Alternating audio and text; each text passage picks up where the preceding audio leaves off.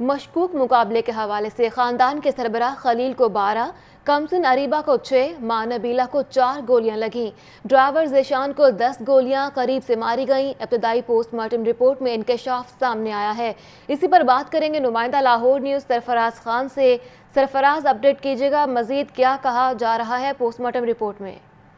جی نیلے میں ابتدائی پوسٹ مارٹم رپورٹ کے مطابق سائی وال کے قریب سی ٹی ڈی کی کاروائی کار میں سوار خاندان کے سربراہ خلیل کو بارہ گولیاں، خلیل کی کمسن بیٹی اریبا کو چھ گولیاں، بچوں کی ماں نبیلہ کو چار گولیاں، جبکہ ڈرائیور زشان کو دس گولیاں جو ہے وہ ماری گئی یہ پوسٹ مارٹم رپورٹ جو ہے وہ اس سے انکشاف ہوا ہے کہ جو سوار تھے گاڑی میں، ان کو جو ہے وہ گولیاں لگنے سے ان کی ہلاکت سامنے آئی ہے۔ لیکن تاحال جو پوسٹ مارٹم رپورٹ ہے، وہ منظر عام میں نہیں آ سکی۔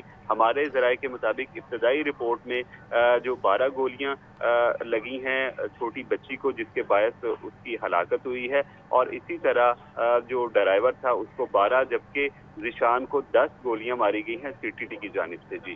بہت شکریہ آپ کا، سرفراز خان، آپ ہمیں اپڈیٹ کر رہے تھے۔